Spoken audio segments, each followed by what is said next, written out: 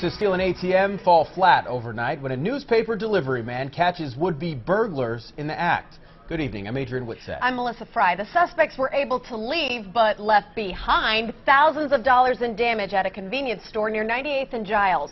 That's where KETV News Watch 7's Christina Engdahl joins us live.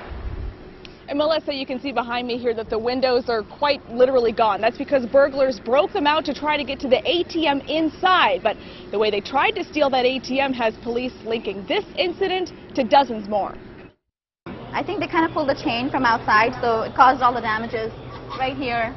Damage that's devastating to Jessica Geary's family business, where she says a metal chain shredded part of this wall when burglars broke in overnight with their sights set on this ATM. I think there's few scratches, but there isn't that many. As you can see, the ATM is okay, but Jessica can't say the same for the storefront windows. I think they used like a hockey stick or something to like smash.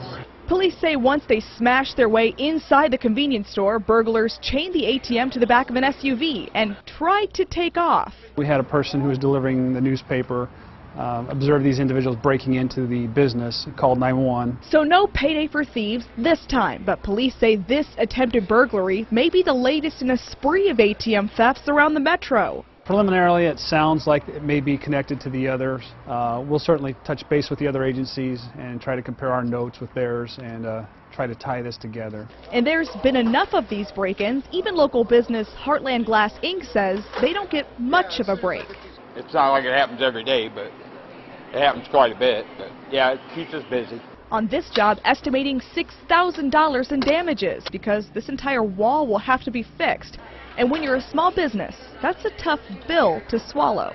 At least no, they didn't touch anything else but the ATM. Even the ATM is fine, you know. So thankfully, just the damages is what he did. Now, La Vista police say the vehicle involved this time is an SUV. They think it's white or light gray with damage to the tail end. So if you know anything or saw anything, of course, call police. And as for the convenience store behind me here, they tell me they're installing more surveillance cameras, but this time on the outside of the building. Back to you. Thanks, Christina.